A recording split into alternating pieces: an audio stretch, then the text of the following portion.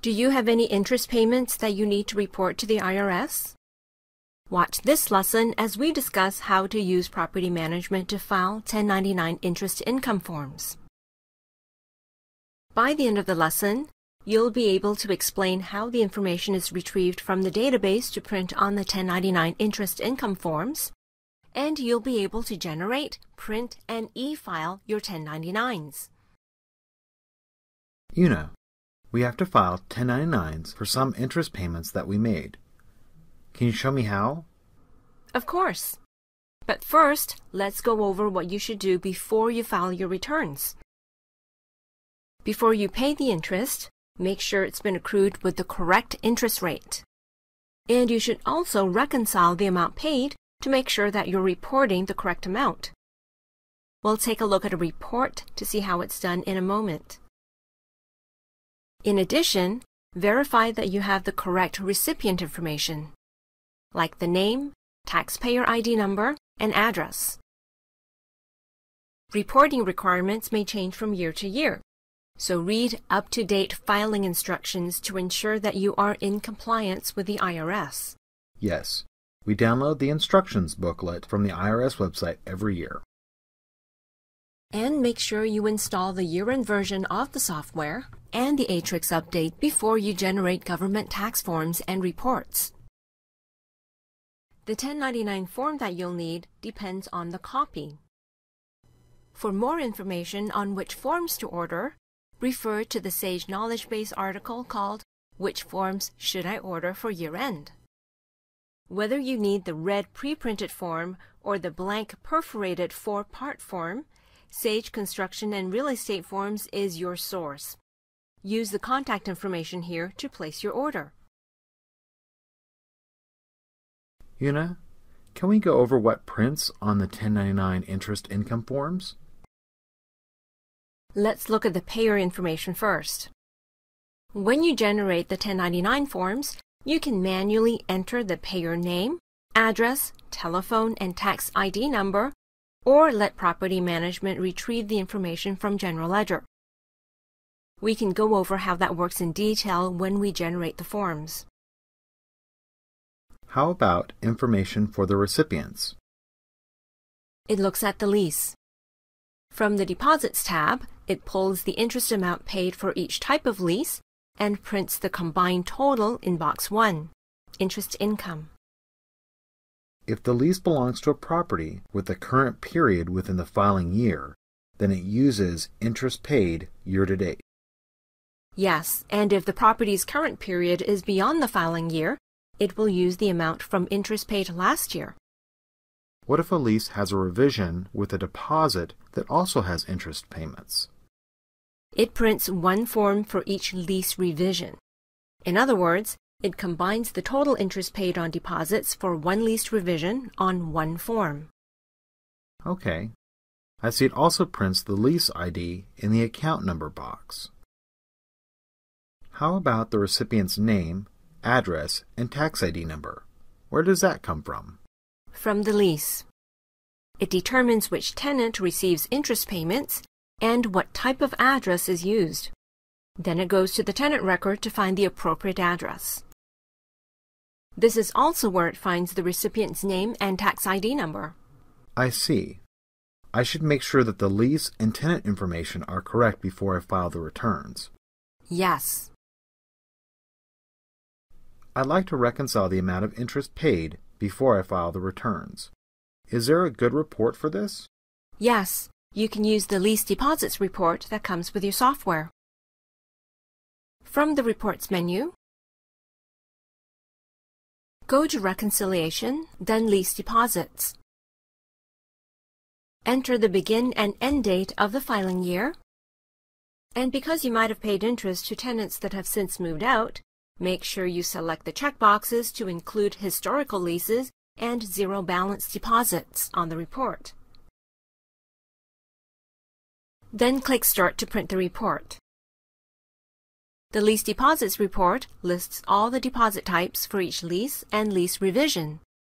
It also shows you the transactions for each deposit type for the date range that you had entered in the print selection window. This year-to-date amount is retrieved from the lease deposit record. Remember, this makes up the amount that prints in Box 1 of the 1099 interest income form. However, take note that the year-to-date amount corresponds to whatever calendar year the property is in. This means if the current period for this property is January 2020, then this interest paid year-to-date amount is 2020's. But what if that's not my filing year? If you're filing returns for 2019, you can use the Report Designer application to change the report design to pull in the interest paid last year, 2019. In any case, the interest paid amount from the lease record should reconcile to the pay interest line items. What if they don't? Then you should correct the amount accumulated at the lease deposit level. But I can't access those fields. You'll have to activate the Audit Setup Activity option. That's easy for you to say. I have no idea what that means. What did you call it? It's the Audit Setup Activity option. Here, let me show you. Go to the Tools menu and select Options. Here we go. Check the box Audit Setup Activity. After you click OK, you'll have access to the software-maintained fields that you normally can't access. You mean those fields that appear as lighter gray that my cursor won't go to? Yes, those are the ones. This option allows you to change them, but at the same time, it creates an audit trail of the changes that you make. But I have to warn you, this is a global setting, which means that anyone using Sage Timberline Office can access those system-maintained fields. So I should ask everyone to exit the software first? Yes, use with caution.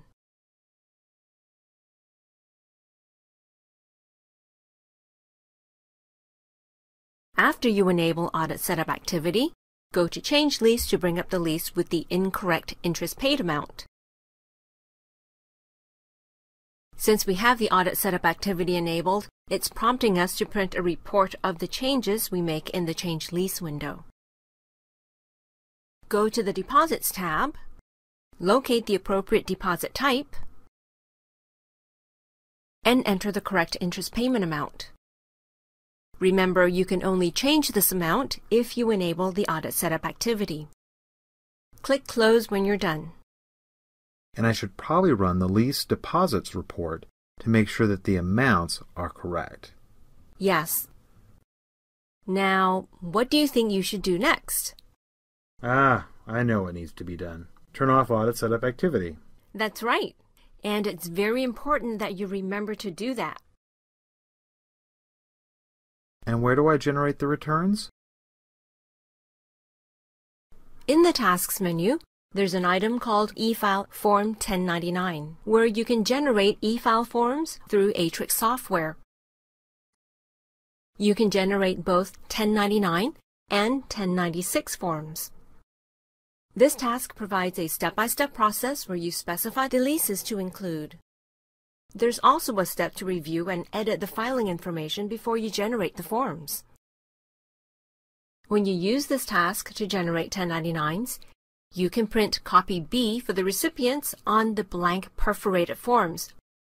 In fact, if you don't have time to print and mail the copies out yourself, Aatrix software can do it for you. It can even go paperless and deliver the recipient copies electronically.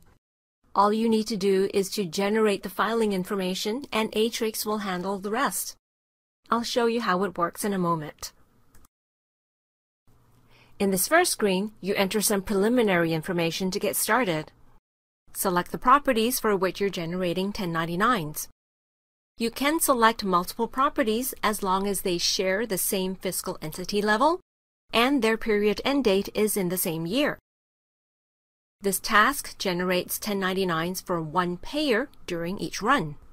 To select more than one property, hold the Control key down on your keyboard and click in the column next to Property ID. The federal ID number for the payer comes from the fiscal entity's prefix setup in General Ledger. If you didn't put a number on the prefix setup, or if the number was entered incorrectly there, you can enter it here.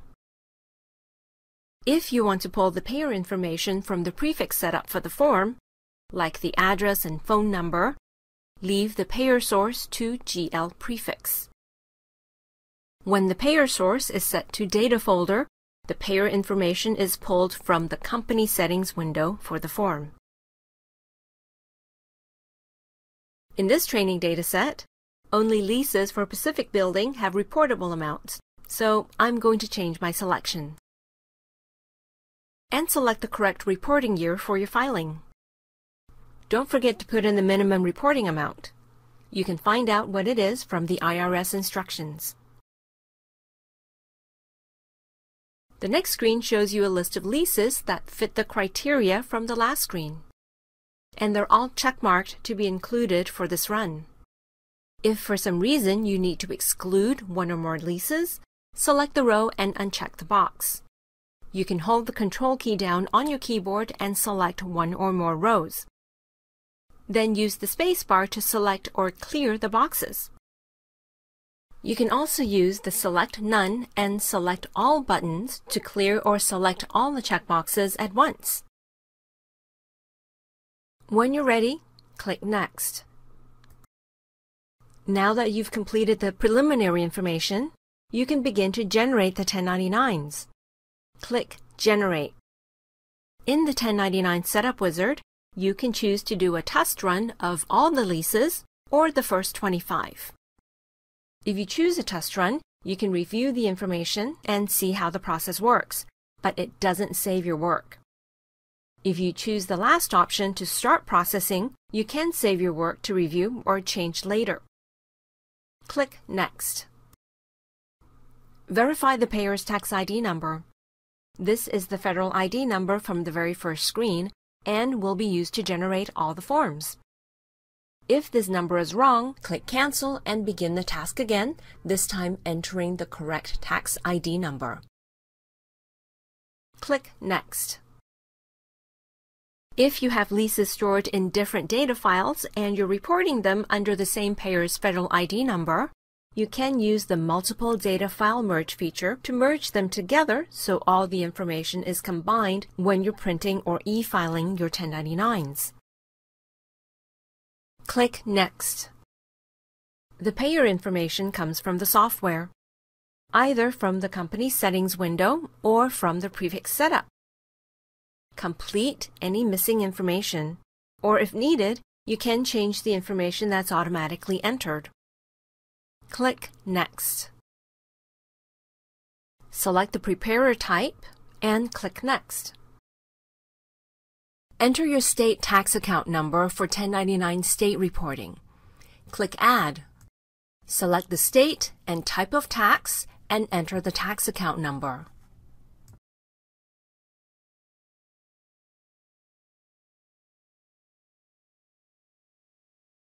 If you skip entering the state tax information in the 1099 Setup Wizard here, you can still access this screen later in the Preparer window through Edit Company Setup. Click Next. Are there recipients who would prefer to receive their copy of the 1099 electronically? If so, select Yes here. Later, you can indicate which leases they are and enter their email information. Take note that you must have written consent from the recipients in order to send them electronic 1099 returns. Sage has a blank consent form that you can send to your tenants. It's attached to Knowledge Base Article 87584. If this is your final return, select Yes and then click Next. In the Recipient Identification Number step, indicate how you want to format the recipient's tax ID number and how zeros should appear on their copy. Click Next. Based on the information stored in the database, the system creates a spreadsheet listing the leases for which a 1099 will be generated. The leases are in the rows, and the columns represent boxes on the 1099. You can use the scroll bars to see additional columns. Let's compare the spreadsheet to an actual 1099 form. The columns in the left area of the spreadsheet are for the recipient information. The columns in the right area of the spreadsheet are for the reportable amounts.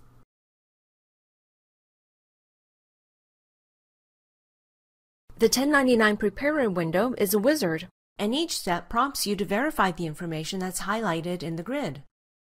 If you've already used Property Management Report to verify the lease and tenant information, then everything should be correct.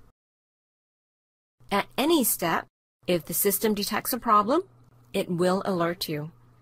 And the errors are highlighted in red.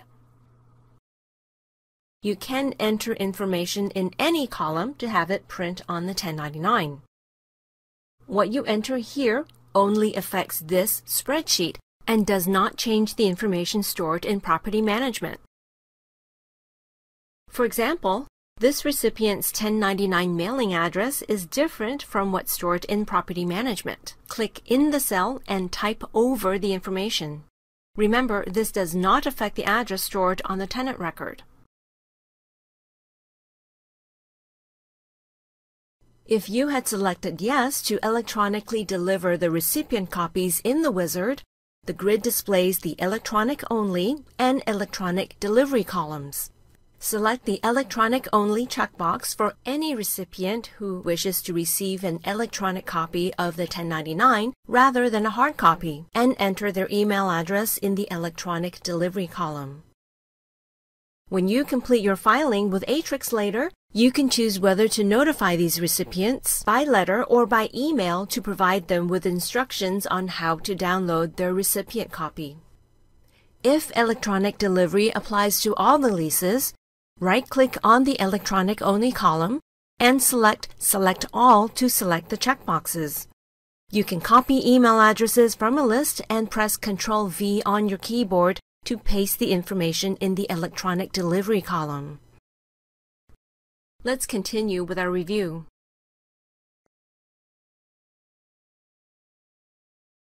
The columns on the right represent reportable amounts on the 1099.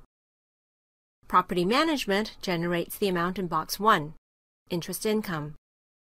If you need to change this amount or report an amount in any other box, just type it in the spreadsheet so it prints on the form. You can also add or remove recipients from the spreadsheet. For example, the system generated one record for a recipient, but you need to send out two 1099s. Right-click in the number column and select Insert to add a new row, and you can type in the information for the recipient. When you're working in the spreadsheet, you can use the Edit menu to sort the information or use Company Setup to go back to the Payer Information window to make any changes if needed. If this is not a test run, you can save your work and come back to it later. When the information in the spreadsheet is complete, click Next.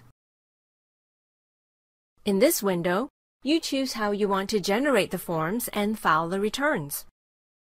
For a small fee, you can let Aatrix print and mail the 1099s to the recipients and e-file the returns for you. But if you'd rather handle this yourself, select Other Options. You can print copy B for the recipients and let Aatrix e-file the returns for you. E-filing the federal copy through Aatrix is free of charge, so take advantage of this. You can also print the federal and state copies and mail them in. In that case, you can uncheck the e-file options.